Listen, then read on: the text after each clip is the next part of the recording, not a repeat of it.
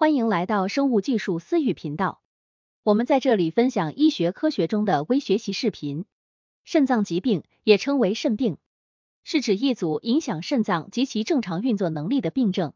肾脏是过滤血液中废物和多余液体并产生尿液的重要器官。肾脏疾病的范围从轻微到严重，如果不及时治疗，可能会导致肾功能衰竭。肾病有多种类型。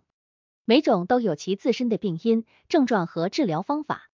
一些最常见的肾脏疾病包括慢性肾病、急性肾损伤、肾小球肾炎和肾结石。慢性肾脏病 （CKD） 是一种长期病症，发生在肾脏受损且无法正常过滤血液时。它可能由多种因素引起，包括高血压、糖尿病和遗传疾病。CKD 可以在多年内缓慢进展。并最终导致肾衰竭。急性肾损伤 （OK） 是肾功能突然严重下降，它可能由多种因素引起，包括感染、药物和脱水。OK 可以迅速发展，需要立即就医以防止肾衰竭。肾小球肾炎是一种影响肾小球的肾脏疾病。肾小球是肾脏中过滤血液中废物的微小血管，它可能由多种因素引起，包括感染。自身免疫性疾病和遗传疾病，如果不及时治疗，肾小球肾炎会导致肾衰竭。肾结石是在肾脏中形成的坚硬矿物质沉积物，可引起剧烈疼痛和不适。它们可能由多种因素引起，包括脱水、高盐摄入和某些药物。肾病有多种危险因素，包括高血压、糖尿病、肥胖、吸烟和肾病家族史。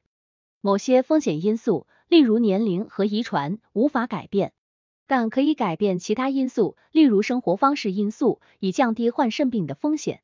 肾脏疾病的预防和治疗包括改变生活方式、药物治疗和医疗程序。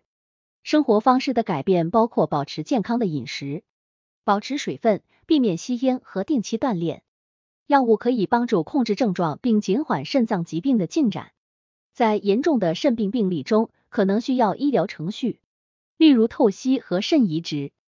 总之，肾脏疾病是一种严重且常见的健康问题，影响着全世界数百万人。他们会对一个人的生活质量产生重大影响。如果不及时治疗，可能会导致肾衰竭。然而，通过适当的预防、诊断和治疗，许多人可以控制他们的肾脏疾病，并过上健康和积极的生活。如果您担心自己的肾脏健康，请务必咨询您的医疗保健提供者，并采取措施降低患肾病的风险。